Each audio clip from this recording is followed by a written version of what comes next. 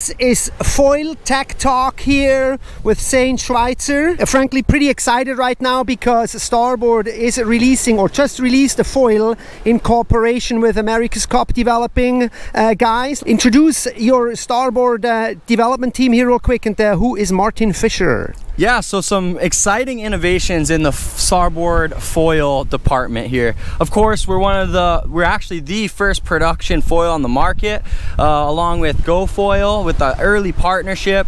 And so it's nice to really see Starboard and Mize deserving their place for one of the best progressive foils I've had a chance to test.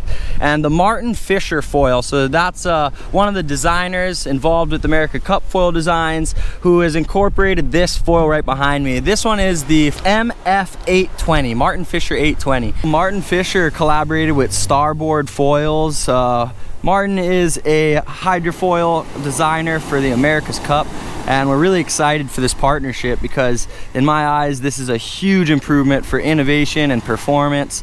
Uh, riders like myself and Clement Colmas have been really enjoying this for light wind, downwind foiling uh, there's also some smaller sizes uh, that are really amazing and fast which would have been the foils I would have raced on. Those are at the SLX. And the SLX also has some of these features from Martin Fischer incorporated. So the MF820, this is a really exciting foil uh, for really fast racing, downwind, pumping, and small bumps, flat water starts. I might even actually go and try and see if I can get up myself. I haven't been back on the water since my injury, but... Yeah, we should do a trial run. In fact, I tried earlier um, this MF 820 of course I couldn't get it out of the water but I was also uh, very challenged by the little board but that's a different video. But let's talk about the stabilizer here real quick because we just noticed there is a little fin on the stabilizer and we haven't seen this in a very long time. So this stabilizer here on the tail wing of the MF foils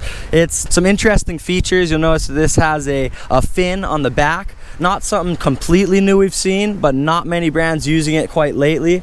Uh, very amazing feature that I find to improve stability when you're pumping especially as this is quite a high aspect front wing with the 820. So the MF 820 paired with the 200, great light wind, downwind foil choice for me personally. Also love it for flat water takeoffs.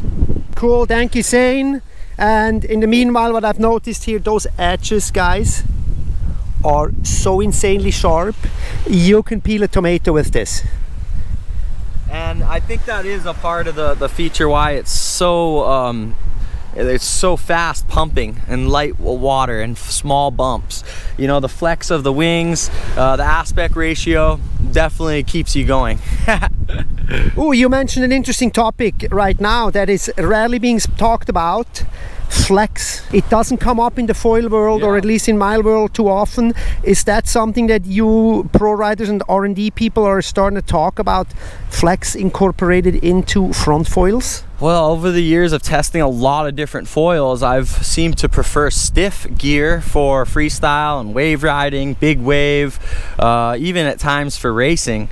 Uh, but I have tested some soft wings and masts, and there are at times where there's a recoil effect that feels very interesting. And as you mentioned, I think it is a part of our industry that's yet to be innovated, and hopefully we'll see more uh, talked about. And this could be one of those foils uh, that would be exciting for some of you guys to test out if you're interested in pumping or downwind foiling. Uh, it has uh, a lot of really exciting features. You know, of course, I've always been a starboard rider, but uh, I try to always be honest and uh, I've been so excited to be back in the water riding these new foils. You know, uh, sometimes, you know, you feel like the innovation isn't keeping up with your progression, or at least for me, and I feel like this has been a foil I've been waiting to ride on the starboard lineup.